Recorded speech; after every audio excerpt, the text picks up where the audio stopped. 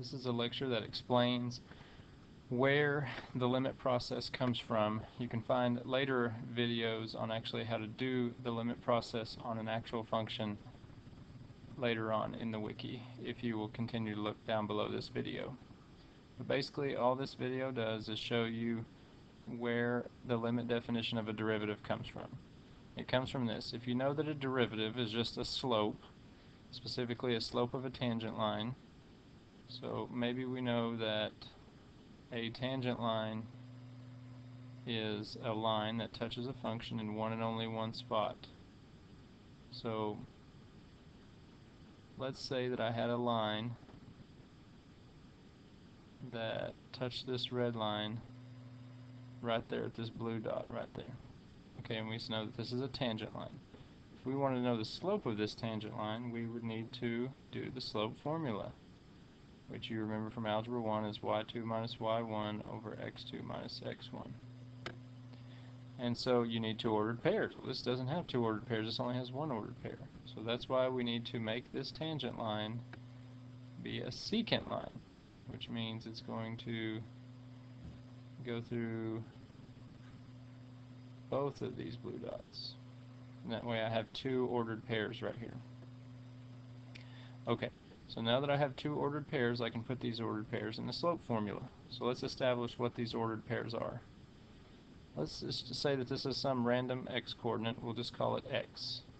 Then the function's value at x, this line is f of x.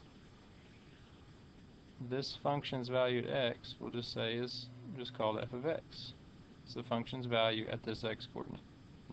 Let's say that I establish some distance between these two pairs, and we'll call that distance delta x. Let's say I establish some distance here, and this distance is added to this x-coordinate, so that now this x-coordinate is whatever my first one was, plus however much that distance is.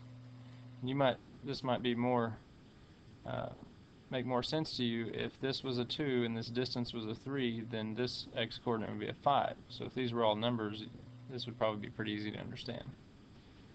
Okay, so I have this new x-coordinate which is called x plus delta x.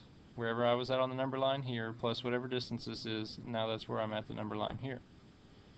So what I need to do is come up with where this function's value is at this ordered pair for x, with, I mean the rest of the ordered pair for this x-coordinate, and that would be f of x plus delta x. Since this function tells you whatever y value, tells you a y value for whatever x value you put in. This y value is the function's value at x plus delta x.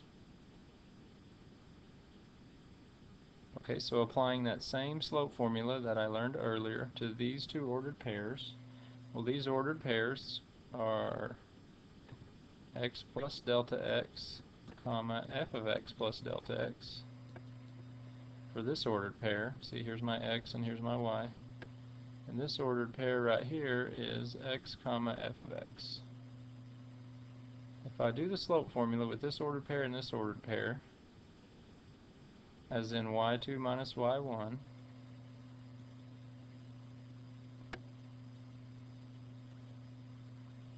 over x2 minus x1 You'll notice that on the bottom the x's will cancel and I get f of x plus delta x minus f of x all over delta x. This would be a pretty good approximation for the slope of this line if this were the real tangent line at this green dot. But this is not the real tangent line slope.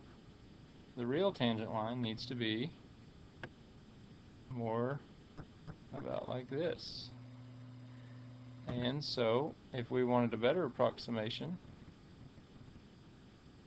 we might be able to move this dot down closer or closer or closer or closer or closer. The closer this blue dot gets to this green dot, will make a better approximation for the slope of this tangent line. Now, the two dots can't actually touch because then we wouldn't have two different ordered pairs to use on our slope formula. We'd only have one ordered pair.